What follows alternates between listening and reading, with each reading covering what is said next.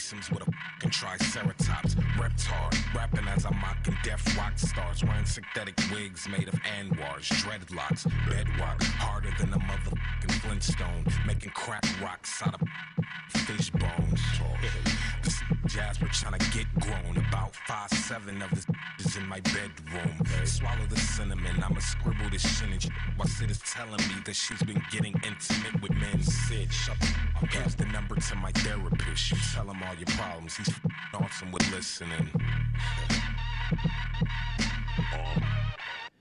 Good morning, Wildcats, and welcome to today's edition of Wildcat News. Today is Thursday, January 30th. and It is also a B day. First, congrats to the chess team who participated in the All South Jersey Individual Chess Tournament last Saturday.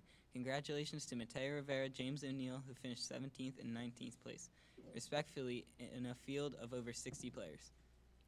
Also, the chess team played their last dual match on Thursday and won both games. Mateo Rivera, James O'Neill, Bobby Kyle, and Devin Smith all had at least one win to help the Wildcats to victory.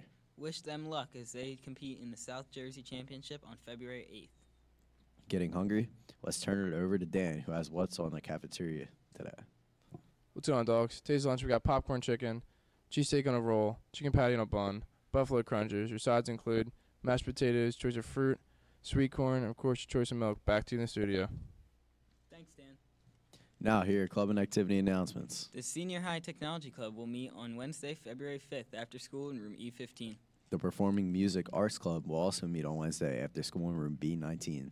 The next meeting for the French Club will be on Thursday, February 6th after school f- in room C23. The National Honor Society will also be meeting on Thursday, February 6th, after school in room E E16. And don't forget to send any travel photos you have from this year to, for our travel spread in this year's yearbook. Email them to Mr. Smith at rsmith at msemail.org by February 1st for inclusion. What's happening in Wildcat Sports? Let's go to Brandon, who has the latest. Today in Wildcat Sports, boys basketball plays New Egypt at home at 5. Girls basketball is going away to Bordentown starting at 5. Good luck to our cats. Thanks, Brandon. Also in Wildcat Sports, We'd finally like to wish a happy birthday, too. Desire Jones. Kyle Zabel. Well, that's all we have for the announcements today. From all of us in the TV studio, have Thanks a for tremendous watching. Thursday. And have a tremendous week.